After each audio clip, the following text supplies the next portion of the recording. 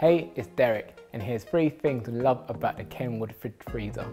You can easily adjust the temperature, it runs quietly, and you can adjust to suit your space.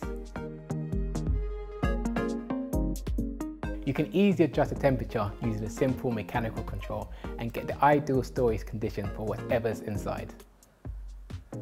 It doesn't disturb your peace and quiet at home with a low noise performance that's barely noticeable. It has a reversible door that gives you more flexibility where you can install it. The door can fit on either side so you can adjust it to suit your space.